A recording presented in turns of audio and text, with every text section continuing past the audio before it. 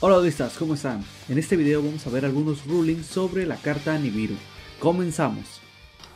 Número 1. ¿Es costo tributar los monstruos del campo? No, tributar los monstruos del campo no es costo, de hecho Nibiru no tiene ningún costo de activación. Número 2. ¿Puedo convocar a Nibiru si está en el campo Vanity Fiend? Lamentablemente ni siquiera podrás activarlo. Si está en el campo algo que impide hacer invocaciones de manera especial, lo mismo pasaría con la carta Pasicéfalo si está boca arriba. Número 3. ¿Nibiru se convoca al campo aunque no tribute monstruos?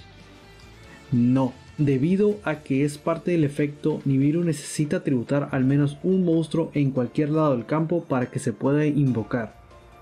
Número 4.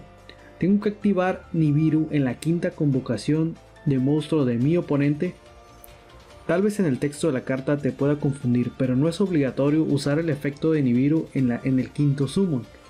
Puedes activarlo una vez cumpla las 5 invocaciones en cualquier momento del main phase. Antes de continuar te invito a que te suscribas al canal para que no te pierdas los siguientes videos de rulings. Número 5. Draco Berserker Tenji puede negar Nibiru. Casi pero no. Draco Tenji no niega Nibiru, pero sí evita que entre al campo. Aunque se fuera del juego, el efecto de Nibiru continúa tributando todos los monstruos del campo. Número 6. Puedo activar Nibiru si está activo Rivalry con monstruos de otro tipo ya en campo.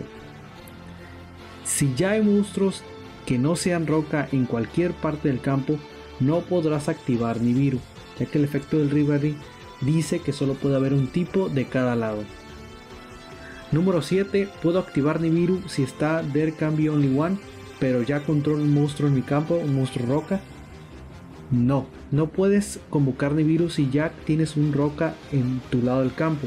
Y tampoco podrás convocarlo si tu oponente tiene un roca boca arriba.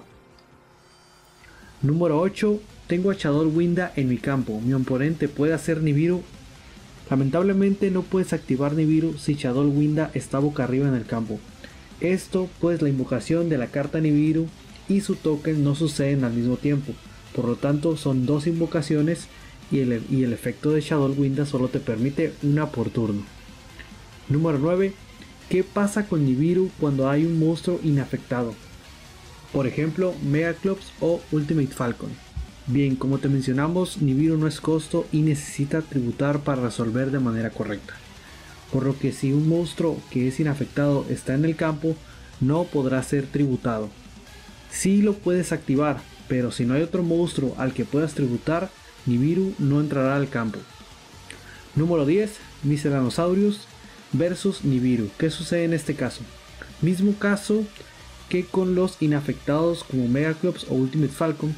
Los dinosaurios que estén bajo el efecto de protección de Miscelanosaurus no podrán ser tributados y si no tributas ningún monstruo, Nibiru no entrará al campo.